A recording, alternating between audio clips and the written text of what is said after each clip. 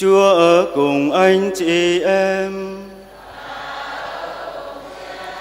Tin mừng Chúa Giêsu Kitô theo Thánh Gioan.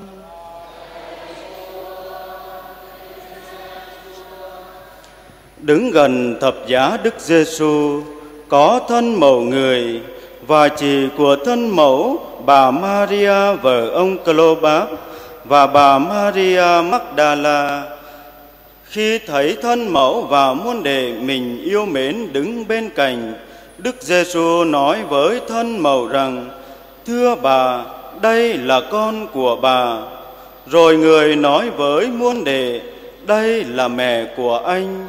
Kể từ giờ đó, người muôn đệ rước bà về nhà mình.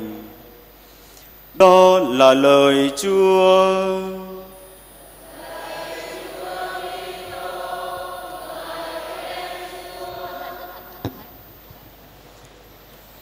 Cộng đoàn phụng vụ thân mến, mỗi thứ bảy, chúng ta trở về bên mẹ để nép mình vào lòng mẹ, để được nương tựa vào trái tim của mẹ, để nghe những lời mẹ dạy bảo cho mình sống ngày càng tốt hơn. Và hôm nay, chúng ta chiêm ngắm hình ảnh của mẹ dưới lòng phó thác nơi đức trinh nữ maria. Đây là những người con thảo ngày ngày đến với mẹ để nép mình vào lòng mẹ, để phó thác cho mẹ tất cả những nỗi lo ưu phiền buồn miền của mình. Để tất cả những điều đó, chúng ta luôn được bình an trong cuộc sống. Trong bài tin mừng hôm nay chúng ta vừa nghe, đứng gần thập giá có thân mẫu Đức Giêsu và người muôn đề yêu mến đứng bên. Nhìn lên thánh giá, chắc chắn chúng ta thấy toàn sự đau khổ. Thấy sự đau khổ là bởi vì con của mẹ đã treo trên thập giá, hình hài không còn chỗ nào lành. Và thân xác thì đã bị tiều tùy bởi những đòn voi và những lưỡi đồng đã đâm thâu cảnh sườn lòng con của mẹ nơi Đức Giêsu. Nhìn lên thánh giá chúng ta thấy một kỳ xã hội đã loại trừ sự thật, một xã hội đã loại trừ ánh sáng, một loài một cái xã hội đã không chấp nhận Thiên Chúa ở cùng với họ. Khi nhìn lên thánh giá, chúng ta thấy nơi đầu của Ngài đã đổi màu gai, máu đã chảy xung quanh đầu làm cho cái khuôn mặt của Ngài bị tiêu tùy, làm cho khuôn mặt của Ngài không còn hình dáng nữa. Đó là những kỳ sự ghen tị, ích kỷ, những kỳ sự hờn dần. Tất cả những thứ đó đều trút lên cho Thiên Chúa nơi Đức Giêsu. Nhưng mà chúng ta thấy ở nơi thánh giá, mẹ đã không hề nói một lời nào. Mẹ âm thầm lặng lẽ để cho lời của thiên chúa tác động vào trong con tim của mình. Mẹ để lặng thinh để cho lời chúa thấm đậm vào trong con người của mình. Để rồi mẹ suy niệm những lời của thiên chúa mà qua việc con của mẹ đang phải gánh chịu.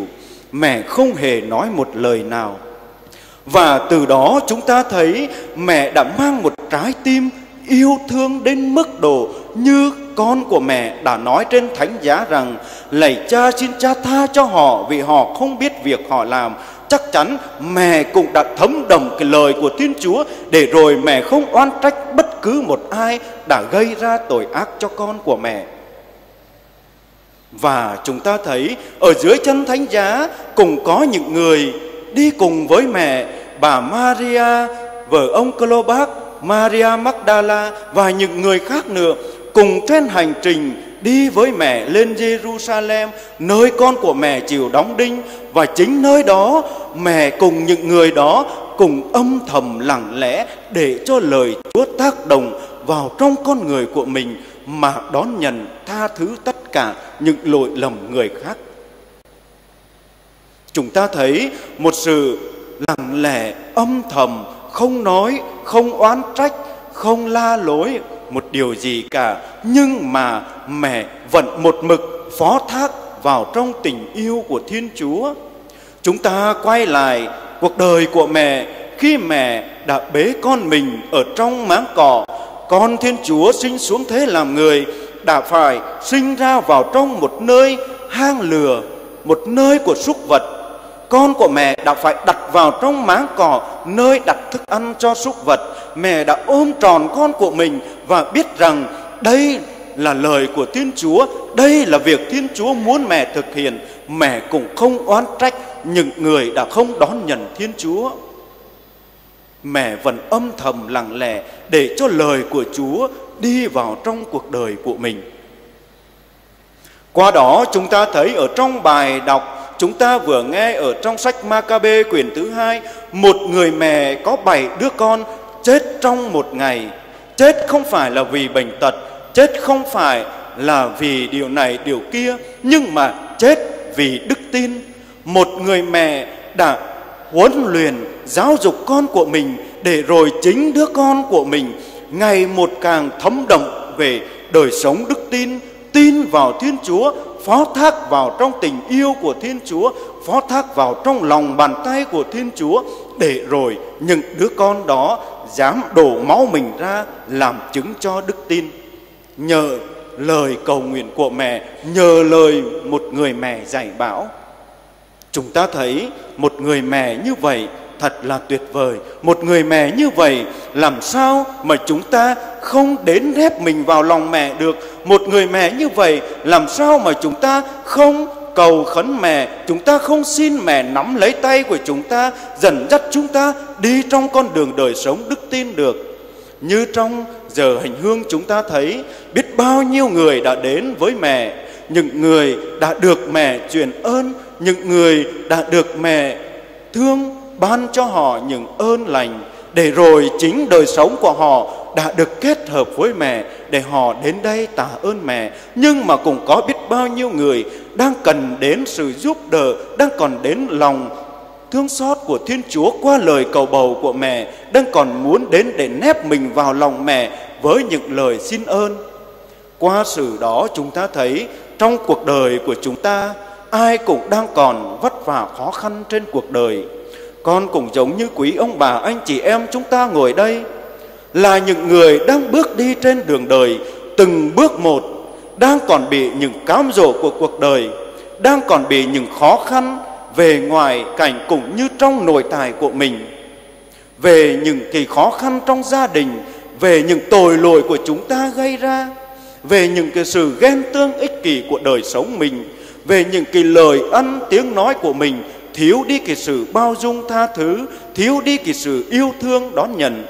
Cho nên, qua đó chúng ta thấy nếu chúng ta không biết chạy đến với mẹ, thì chúng ta vẫn là những con người tội lỗi và chúng ta không có một bàn tay nâng đỡ. Khi con đến thăm một gia đình, một gia đình có một vị linh mục đã chủ chức được hơn hơn 10 năm. Một gia đình là có một đứa con duy nhất. Đứa con khi lớn lên tầm 18 20 tuổi phá phách không còn một tội gì là không phá nữa. Trừ ra cái tội giết người, xì ke ma túy, trộm cắp, chấn lột đều có cả và người mẹ, người bố rất là đau đớn khi ông bà cố kể với con rằng ông bà nước mắt vẫn còn chảy. Ông bà thật là đau đớn vì nghĩ lại quá khứ của đứa con mà không biết làm sao. Bàn tay của mình không còn nâng đỡ đứa con của mình được nữa. Không biết đứa con của mình sau này nó như thế nào, nó sẽ bị vào tù thì mình sẽ mất đi đứa con duy nhất của mình. Ông bà đến một nhà thờ có một ánh sáng dòi vào trong tâm tí của ông bà cố và ông bà cố nhìn lên ảnh Đức Mẹ Hằng cứu giúp, thấy bàn tay của Đức Mẹ chìa ra, nắm lấy tay của Chúa Giêsu. Ông bà cầu nguyện với Đức Mẹ rằng, Mẹ ơi, Tay mẹ đã nắm tay con của mẹ. Tay con của mẹ đã nắm lấy tay mẹ. Chắc chắn đứa con của con, Gia đình của con là con của mẹ. Chắc chắn khi con ngồi ở đây Con cầu nguyện với mẹ chắc chắn mẹ cũng sẽ nắm lấy tay con, mẹ cũng sẽ lấy nắm tay con của con mà dần đi trong đường ơn cứu độ. Và sau một năm, cái đứa con ngộ nghịch bao nhiêu, đứa con phá phách hư hỏng bấy nhiêu, đứa con nghiền ngập cả ngày cả đêm không ở nhà với bố mẹ một giờ nào, nay bỗng nhiên xin bố mẹ đi tu. Bố mẹ ngạc nhiên không hiểu làm sao Bố mẹ đến nỗi mà không tin vào lời con của mình nói được. Đứa con vừa xin phép bố mẹ xong thì vừa vào trong phòng gấp áo quần bỏ vào vali rồi đi tu. Không phải là xin vào đại trùng viện, không phải là xin vào một dòng hoạt động mà lại xin vào một dòng đó là dòng kín. Bố mẹ bỡ ngỡ trước sự việc của con. Nhưng mà ông bà cố tin chắc rằng đây là việc làm của mẹ. Mẹ Maria đã nhận lời đã giúp cho đứa con. Và khi đứa con vào trong nhà dòng kín, thứ nhất là bỏ được kỳ sự nghiện ngập ma túy, thứ hai bỏ được cái tính hư tật xấu, bắt đầu tu trì. Và sau 12 năm thì đứa con đó đã được chịu chức linh mục và đã hơn được 10 năm chịu chức linh mục rồi. Ông bà cố kể lại cho con, dù đứa con đã là linh mục, ông bà cố nay đã yên phần về đứa con rồi, nhưng mà khi kể lại quá khứ, nước mắt vẫn cứ chảy dòng ra là bởi vì cái sự đau khổ mẹ đã cất đi, nhưng mà cái sự hạnh phúc đã cho thấy trước mắt nhưng mà một điều nữa ông bà cố muốn nói rằng là đời của con như là đời con của con đã làm linh mục vì trên đường đời còn nhiều trông gai, vì trên đường đời còn nhiều vất vả, còn lắm khó khăn trong cuộc sống. Không biết chúng con có trung thành được không, nhưng mà mỗi ngày chúng con vẫn dâng cho mẹ một tràng chuỗi, ít nhất là một tràng chuỗi.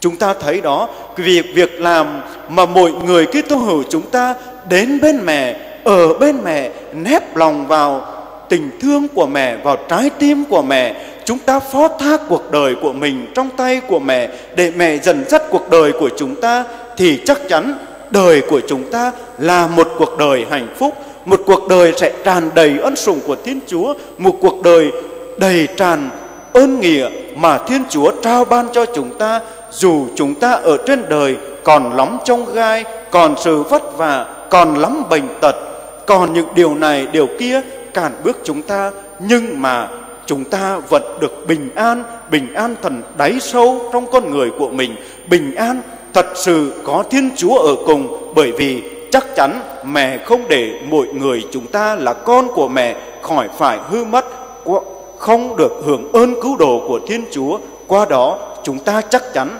là những người con của mẹ, chúng ta sẽ được hưởng tròn ân sủng mà mẹ đã đón nhận từ Thiên Chúa và chúng ta cũng sẽ được đón nhận ơn nghĩa của Thiên Chúa như vậy.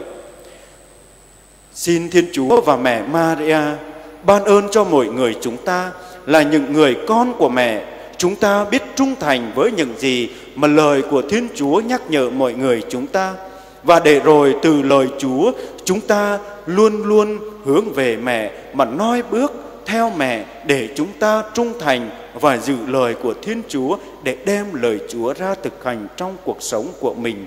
Amen.